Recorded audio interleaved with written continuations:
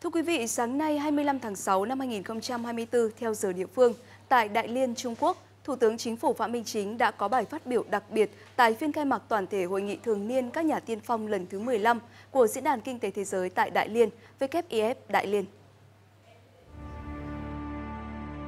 Với chủ đề Những chân trời tăng trưởng mới, hội nghị năm nay đã đưa ra thảo luận một trong những mối quan tâm hàng đầu của chính phủ, các tổ chức quốc tế và cộng đồng doanh nghiệp, chính là vượt qua những giới hạn để tăng trưởng, tìm kiếm những con đường, mô hình tăng trưởng mới và tận dụng những tiềm năng và cơ hội phát triển mới trong bối cảnh kinh tế thế giới đang trải qua những chuyển biến sâu sắc. Đây là lần thứ ba liên tiếp Diễn đàn Kinh tế Thế giới mời Thủ tướng Chính phủ Phạm Minh Chính dự hội nghị thường niên.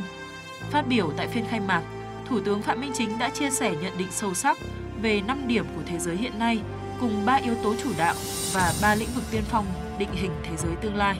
Thủ tướng đánh giá cao vai trò đầu tàu của kinh tế Trung Quốc đối với tăng trưởng kinh tế toàn cầu.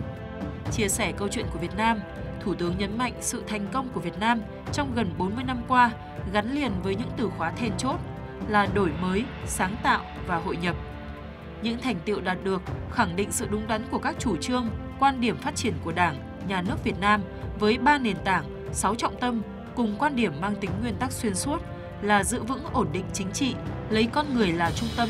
là chủ thể, là mục tiêu, là động lực và là nguồn lực quan trọng nhất của sự phát triển,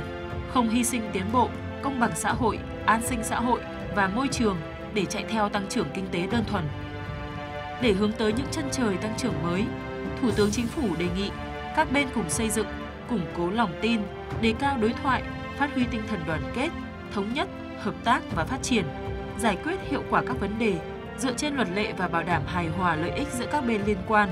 không chính trị hóa và phân biệt đối xử với khoa học công nghệ, đổi mới sáng tạo mang tính toàn cầu.